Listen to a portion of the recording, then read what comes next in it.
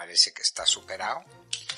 Polonia misma dice que fue un accidente, no fue un ataque intencionado de Rusia, de manera que las cosas están como más tranquilas sobre ese particular. Sí, señor. A propósito de eso, doctor Fernando, pues Ucrania... Es el tema Ucrania... del grupo Sura. Es verdad que se escondieron 2.68 billones de pesos, como lo dice el revisor fiscal. Preguntas por doquier. ¿Por qué no lo dijo antes? ¿Qué es lo que pasa?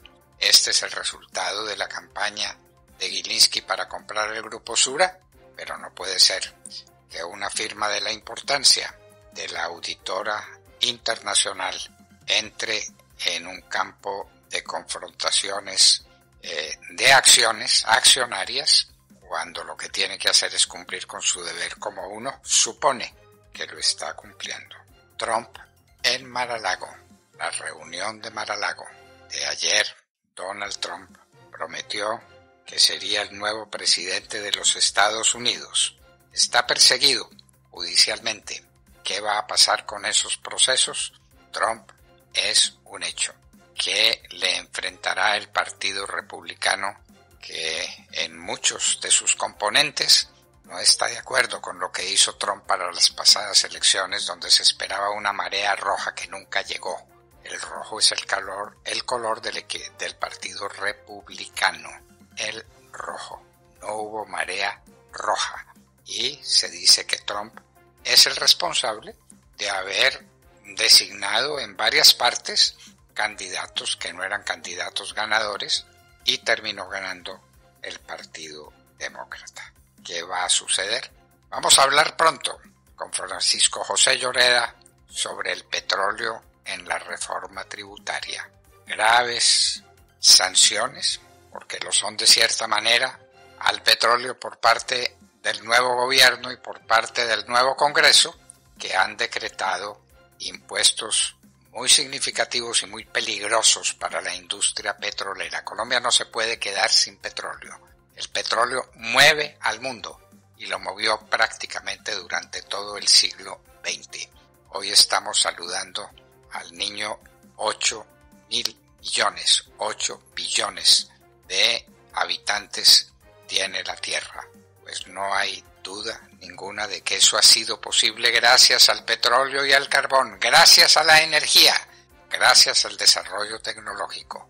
Y está creciendo mucho la población mundial, precisamente por los avances tecnológicos y precisamente porque tenemos un mundo que se mueve, que intercambia tecnologías, que intercambia puntos de vista sobre la economía, todo gracias al petróleo que mueve el mundo. Hablábamos o hablamos con el representante Oscar Villamizar sobre la moción de censura para la ministra de Minas. Claro que en el fondo es una sanción contra Gustavo Petro. Así lo entenderán los amigos de Gustavo Petro.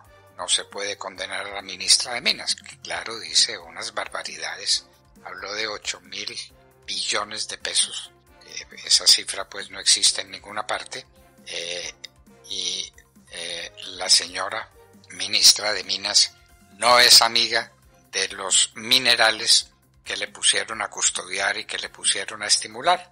¿Qué va a pasar con la ministra de Minas? Los diálogos de Venezuela. Tuvimos una excelente reunión con el exalcalde mayor de Caracas, Antonio Ledesma. La oposición ha pedido tantas veces los diálogos. La oposición ha siempre estado dispuesta a dialogar, pero a Maduro no le interesa el diálogo. Lo que le interesa es el poder, a cualquier precio, de cualquier manera. Y los venezolanos siguen abandonando el país. Y Venezuela tiene hambre, y Venezuela carece de todo. En Venezuela no hay nadie, como diría una mujercita hablando de Cuba, que si me quiero ir, claro que me quiero ir porque en Cuba no hay nada. En Venezuela tampoco hay nada. Bueno, la paz, la paz total de la que se habla tan desenfadadamente por estos andurriales. 500 menores han sido asesinados este año. Ustedes se pueden imaginar eso. Matar niños, matar jovencitos, 500 menores. ¿En qué mundo estamos viviendo? ¿De qué país somos nacionales? ¿Esto cómo puede ocurrir? Menor que muere debe morir porque un accidente, porque pasó alguna cosa muy extraña. 500 asesinados. No, esto no puede suceder. Es una pesadilla lo que estamos viviendo. Ustedes recuerdan al alcalde de Medellín y la razón por la que lo llamaron Pinturita, ¿no es cierto? Pues sucede que Pinturita, queridos amigos, votó dos veces por el presidente Álvaro Uribe. Pinturita. Y él mismo lo dice. Y que votó por Álvaro Uribe para que le diera duro a la guerrilla. Pinturita, dándole duro a la guerrilla. Madre Santa. Lo del grupo Sura es muy peligroso.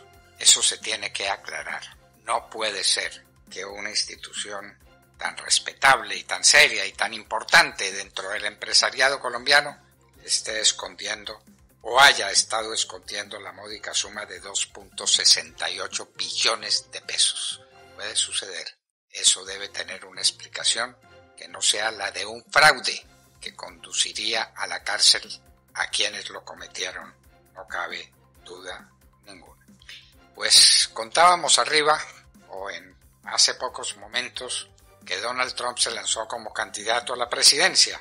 Ahora Pence dice que hay mejores opciones que Trump.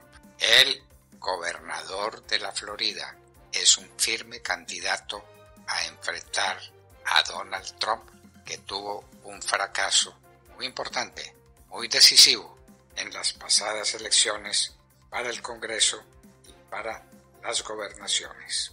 Tiroteos en los Estados Unidos, tiroteo en Virginia, con tres muertos, un futbolista mató a tres compañeros, y tiroteo en Idaho, cuatro muertos en la Universidad de Idaho. ¿Qué está pasando en los Estados Unidos? Reacciones sobre la marcha por el INE en México. El INE es el Instituto Nacional Electoral y Andrés Manuel López Obrador, presidente de México, quiere hacer una reforma para quedarse con el INE y para seguir manejando las elecciones como le parezca. La respuesta no se hizo esperar y eso sí fueron manifestaciones. Así como dijimos que a las manifestaciones por Petro no concurrió nadie, nadie, casi nadie, cuatro servidores públicos y los amigos más directos de Petro, nadie, centenares de personas, pocos centenares de personas en la Plaza de Bolívar en Bogotá, 300 o 400 personas, en Cali se habla de 2.000 personas, casi nada, en Medellín se habla de muy poca gente, nadie salió a respaldar a Petro, a respaldar al INE. En México salieron millones de personas por las calles de Ciudad de México. Andrés Manuel López, Obrador se desentendió de semejante manifestación, quiso minimizarla, pero es imposible.